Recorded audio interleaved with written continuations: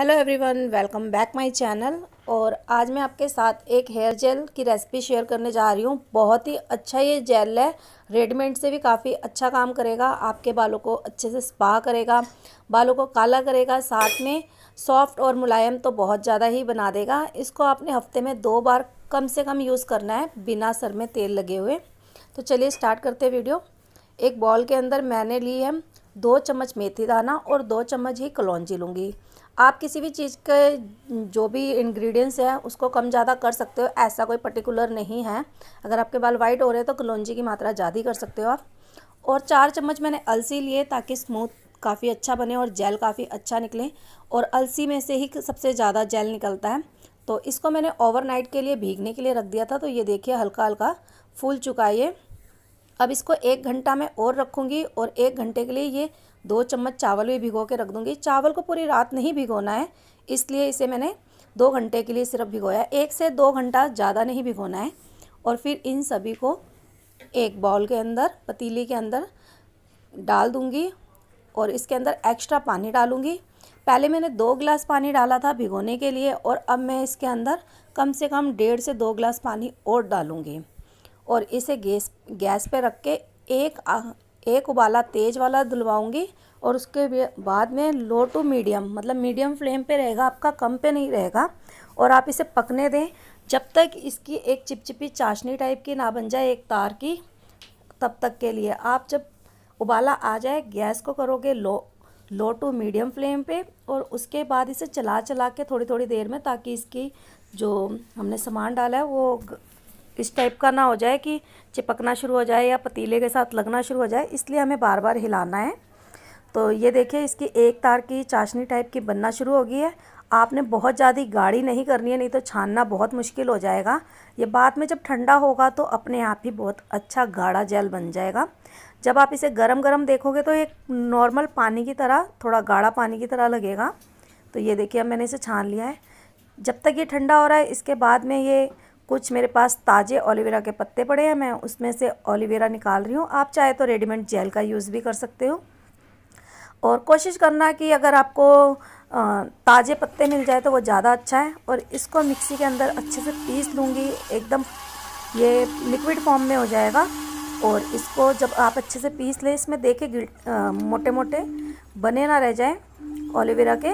अच्छे से पीस जाए और इसके अंदर डाल के अच्छे से मिक्स करना है। आपने अच्छे से फेंटना है ताकि बिल्कुल भी दोनों चीज़ें अलग अलग ना दिखें।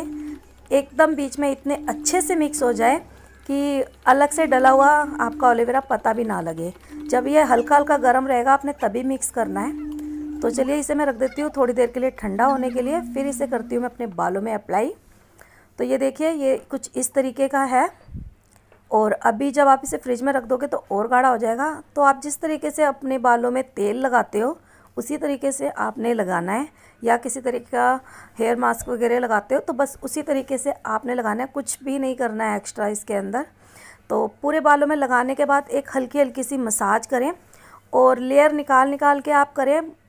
आपने जड़ों में तो लगानी ही है, साथ में आपने लगाना है अपने जो आपके बाल हैं, उसमें भी लगाना है। मैं पूरे सिर में लगाऊँगी। और अच्छे से लगा लेना है, क्योंकि ये घर का बना है, ज़्यादा महँगा नहीं पड़ता है। तो इसी तरीके से देखिए, सारे बालों में लगाने के बाद अब मैं एक जूड़ा बना लूँगी इसका। और बालों में आप इस तरीके से लगा सकते हो, पूरा का पूरा। तो इसे आपने बालों में एक, डेढ़, दो घंटा, आधा घंटा, पंद्रह मिनट जितना आपके पास टाइम मुमकिन है रख सकते हो, रख लो। साथ ही साथ अगर आप इसे लगे रहने दो और घर के कोई काम करना चाहते हो तो वो भी कर सकते हो। मैं भी कुछ इसी तरीके से करूँगी। तो गाइस जेल लगाने के बाद मैंने रखा था दो से ढाई घंटे समथिंग रखा था और साथ ही साथ काम कर रही थी तो पता भी नहीं लगा, दो ढाई घंटे बीत गए थे। और प्लेन सिंपल पानी से ही धोया है। आप चाहो तो जब ये जेल लगा रहे हो तो गीला टॉवल करके अपने सर पे रख सकते हो, जो हल्के गुनगुने पानी में होता है वो वाला।